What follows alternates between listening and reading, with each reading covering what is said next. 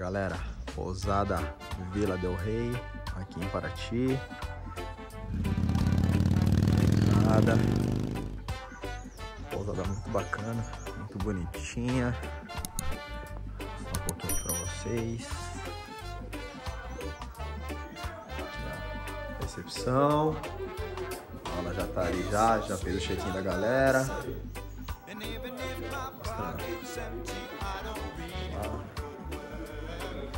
Tem a parte corredorzinho. A parte aqui onde está servido café da manhã, restaurante, né? Bem arrumadinho, bonitinho.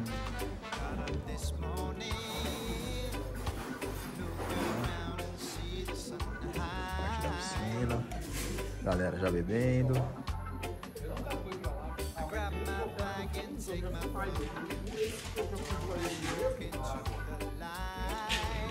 Tem umas redes ali no fundo. Barzinho. Barzinho aí.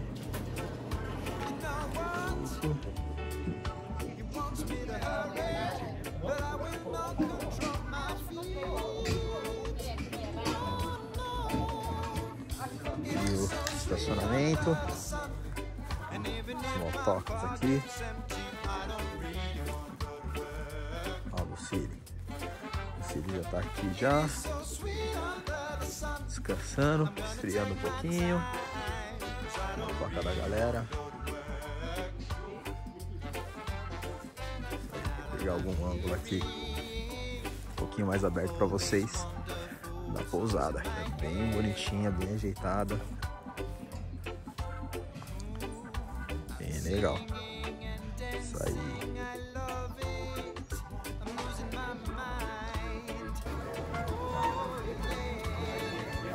Depois de descansar um pouco na pousada, resolvemos passear um pouquinho à noite no centro histórico de Paraty.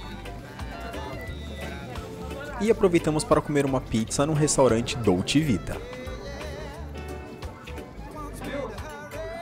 Aí galera, paramos pra jantar aqui no centrinho de Paraty. Olha essa pizza, meu amigo. Coisa linda. Coisa linda, muito boa, recomendem. Depois de comer uma bela pizza que estava muito gostosa, pegamos um docinho ali que é tradicional na região e voltamos para o hotel para descansar e curtir o próximo dia. E acordamos cedinho para aproveitar melhor o dia em Paraty e fomos recebidos logo com um belo café da manhã. Considerada Patrimônio Histórico Nacional e desde 2019 também Patrimônio Misto da Humanidade pela Unesco, preserva até hoje seus inúmeros encantos naturais, culturais e arquitetônicos.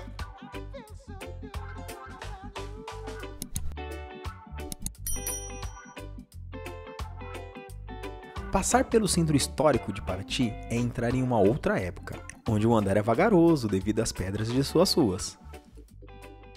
As construções de seus casarões e igrejas traduzem um estilo de época, e os seus misteriosos símbolos maçônicos que enfeitam as suas paredes nos levam a imaginar de como seria a vida no Brasil de antigamente. A proibição de tráfego de automóveis no centro contribui para essa viagem pelo túnel do tempo.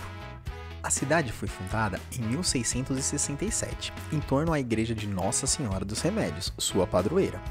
Teve grande importância econômica devido aos engenhos de cana-de-açúcar, sendo considerada sinônimo de boa cachaça. No século XVIII, destacou-se como importante porto por onde se escoava das Minas Gerais o ouro e as pedras preciosas que embarcavam para Portugal. Aí, amor. Estão no vídeo, hein?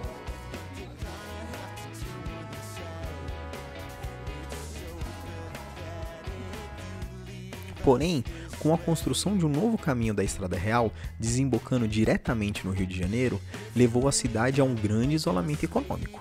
Após a abertura da estrada Paraty-Cunha e principalmente após a construção da rodovia Rio Santos na década de 70, Paraty torna-se polo turístico nacional e internacional, devido ao seu bom estado de conservação e graças às suas belezas naturais. Em sua área encontra-se o Parque Nacional da Serra da Bocaina, a área de proteção ambiental do Cairo Sul, onde está a Vila de Trindade, a reserva de Joatinga e ainda faz limite com o Parque Estadual da Serra do Mar, ou seja, a Mata Atlântica por todo lado. E já fica a dica: a cidade tem um deck gigante com centenas de barcos, uma ótima pedida para passear em um belo dia de sol. Após o passeio na cidade, paramos, é lógico, para aquele horário do almoço e nem preciso falar ah, o prato que eu escolhi, né?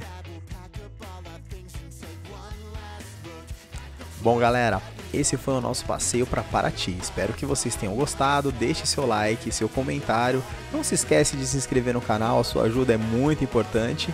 E também me siga lá no Instagram, Custom na Estrada BG. Valeu, galera, e até o próximo passeio.